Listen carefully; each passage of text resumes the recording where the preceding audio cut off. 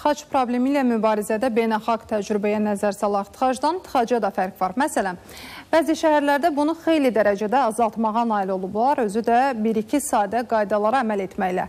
Avropa büromuz Berlin şəhərində tıxacları xeyli dərəcədə azaldan bir neçə amillə bağlı süjet hazırlayıb. Gəlin baxaq, bəlkə elə əlaqədar qurumlar və sürücülər birlikdə Bakımızda da bunu tətbiq edə bildik.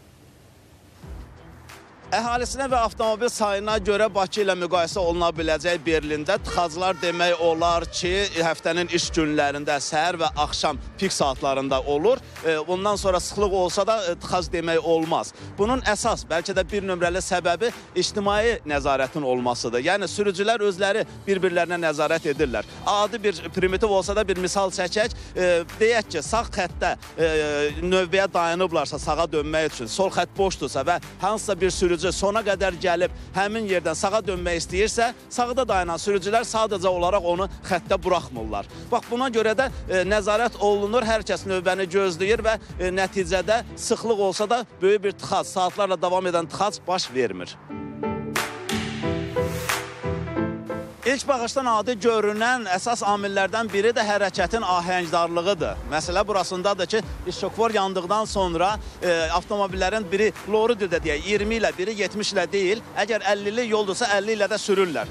Kiçikliyindən, böyüklüyündən asılı olmayaraq bütün avtomobillər bu sürət həddinə əməl edirlər. O zaman işıqforlar arasında məsafələr, nəfəsliklər yaranır ki, əsas küçəyə digər köməkçi küçələrdən çıxan sürücülər çox gözləmirlər və rahat şəkildə həmin küçəyə çıxa bilirlər. Bu da tıxacın yaranmamasının əsas amillərindən biridir.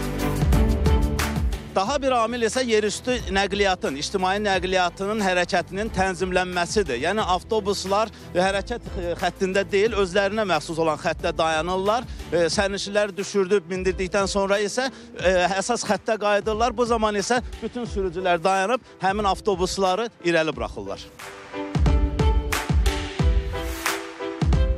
O ki qaldı məktəblərin açılması ilə əlaqədar tıxacların artmasına Berlində bu özünü çox da göstərmir. Məsələ burasındadır ki, Berlində məktəb yaşlı uşaqların şəxsi avtomobildə və ya taksilərdə məktəblərə aparılması elə də dəbdə deyil. Onlar ictimai nəqliyyatdan istifadə eləyirlər. Hətta az yaşlı uşaqlar belə valideynləri ilə birlikdə məktəbə gedirlərsə, onların hər ikisi ictimai nəqliyyatdan istifadə eləyirlər.